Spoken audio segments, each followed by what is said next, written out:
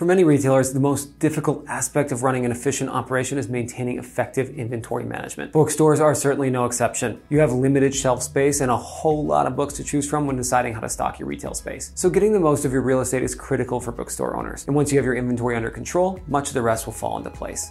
Pricing, promotions, stock levels, and circulation will be easier to monitor and optimize. So let's consider some ideas on how to run a bookstore well and what will make your bookstore even better. Start by creating promotions and just as critical, a way to track those promotions. Books make a great gift, and sets of books make an even better gift, especially around the holidays. So get creative and put together great gift packages. One great way to do so is to pair a popular item with a slower moving book. Offer sets for different genres and age levels, use seasonal events and holidays to guide your promotions, and catch more eyes. Bundle deals are a great way to move through inventory and sell extra items that your customers might not have thought about purchasing otherwise.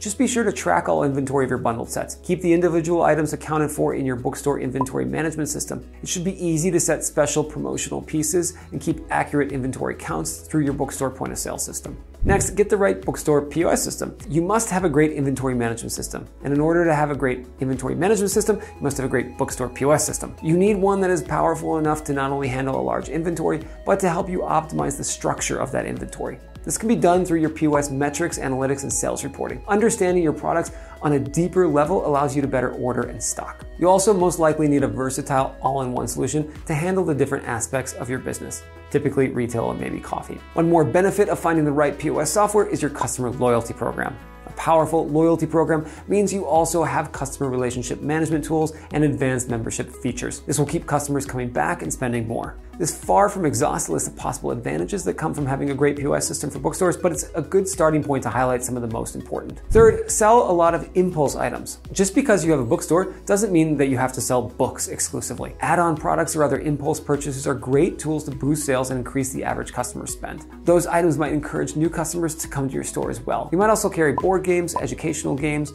journals and notebooks, toys, movies and albums, maps, and bookmarks. Track your sales of add-on products closely and determine what is worth keeping on your shelves.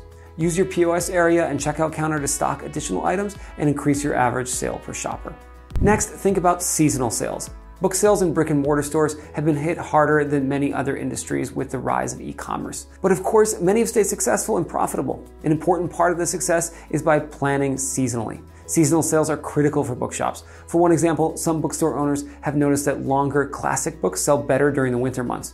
Winter is a more popular time for reading, and those titles are often put on readers' New Year's resolutions lists. Most importantly, you cannot afford to be out of stock on popular items. Keep bestsellers and classic books well stocked through the holidays. They make easy but thoughtful gifts and will sell quickly during November and December. Using tools with your bookstore POS system will help you analyze your most important products and better plan for a great holiday season of sales. Next, what about adding a coffee shop? Many popular bookstores, including all the major big box bookshop retailers, have small coffee shops or cafes within the store. Most readers love reading with a hot cup of coffee or tea, so it's a big draw to any bookstore. Since bookstores typically have low margins, finding other ancillary sales is an important tool to grow sales. Check out our blog for some tips on opening a coffee shop and make sure you have a point of sale system that can handle both your retail bookstore and coffee shop needs. Inventory can be consolidated under one umbrella, keeping your sales and data accurate. Sixth, think about ways of diversifying your sales, including a used book section in an e-commerce store. A great way to compete against Amazon and other online bookshops is by including a used book section in your brick and mortar bookstore. It's a fun hunt for book enthusiasts and an easy way to keep your inventory interesting and exciting. The section of your store could be in a small corner or even outside in front of your store. Your used books can go in the same inventory management system as the rest of your products. Also consider selling used and new books online. It may be a grin and bear it type of concession for some owners, but it's an important way to protect your brick and mortar business. Keep true to your brand and maintain a local focus though. Okay, seventh, host book events. Hosting authors for talks and book signings is a great way to draw a crowd and sell a lot of books. These are great for building your word of mouth marketing and fostering a sense of community around your store. Book signings are fun and simple publicity. You might also consider hosting open mic nights and book readings for local authors. Give your loyal customers and authors the opportunity to share their work and build their base. It's another way to encourage community organization around your shop. Building this local community is important for keeping brick and mortar shops afloat. In many cases, new stores have been largely funded by small neighborhood donations. Of course, it's critical not to forget about your staff. It's important for every retailer to have a great, knowledgeable team, but it's especially important for bookstores. You need associates who can recommend new titles and authors, but also come with a vast knowledge of historical works. Shoppers expect each employee to have an in depth understanding of everything that they're selling. Make sure that you have a staff pick section too. It personalizes the shopping experience and is a great way to push certain titles if you need to move inventory. A great team can also help you with book purchasing. Hiring avid readers mean that they will bring a certain knowledge to your store that you and your existing staff don't have. This is an organic way to build your inventory. And finally, you'll need to choose a great location.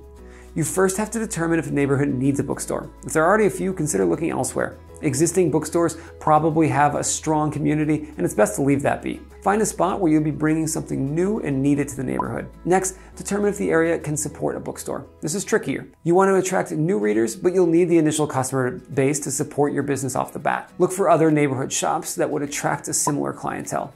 If you see small boutiques, farmers markets, and vintage stores, you're likely to have a lot of people interested in visiting a bookstore. There are a lot of book lovers out there that dream of one day opening their own shop, but it's important to have the right plan to start and to embrace the business side of things that it takes to run a successful bookstore. It won't always be fun and thrilling, but it will once you're established and successful.